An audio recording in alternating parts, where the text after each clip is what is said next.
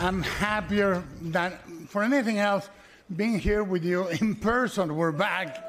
Uh, some of us are drunk. What can be better? Some of you are drunk, and it couldn't be better. The last thing before we go tonight Hollywood's Party of the Year. The Golden Globes returned this evening after a year of controversy. Host comedian Jerrod Carmichael did not shy away from addressing it in his opening monologue. I'm here because I'm black. This show, the Golden Globe Awards, did not air last year because the Hollywood Foreign Press Association, which I, I won't say they were a racist organization, but they didn't have a single black member until George Floyd died.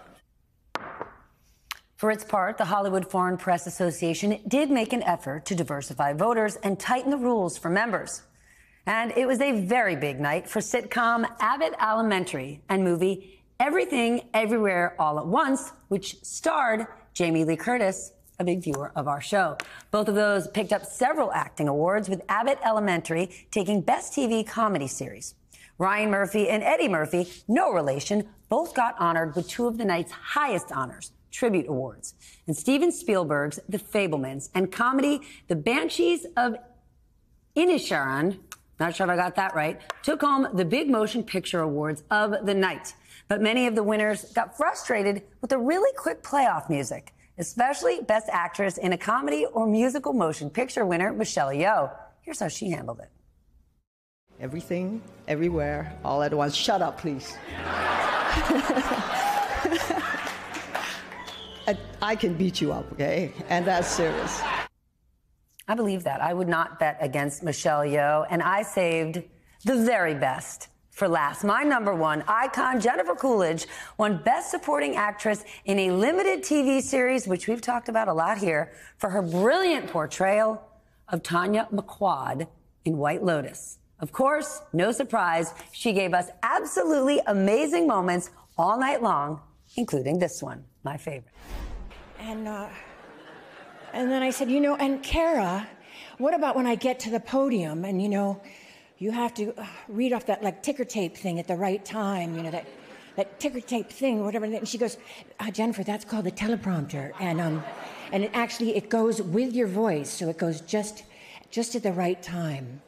So you don't, it does. And I said, no, it doesn't. I did it before at another event and it, it, it got ahead of me and I was screwed.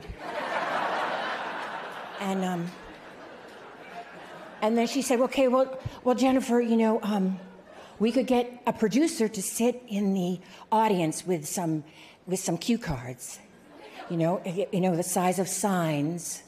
So you could read off that. And i said are you kidding me? You, i'm telling you the show would be over before i could find the guy with the sign.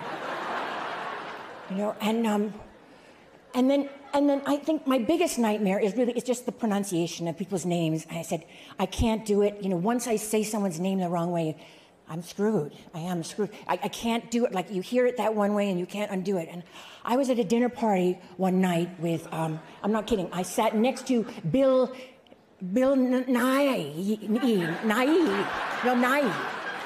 And every time someone came to the table, I was like, this is Bill Nye, and I, Nye. You know, and, and then, but get this, I'm serious. Across from me was Kaley Cuoco. And it was just, you know, it's just a disaster, you know. So I, I said no. But you know what? I, I, I, I'm, I'm feeling very good right now because I haven't screwed up yet. All right. So, the Oscar goes to. No, no. Oh, no, no, wait. Golden Globe, Golden Globe, Golden Globe. Oh, yeah.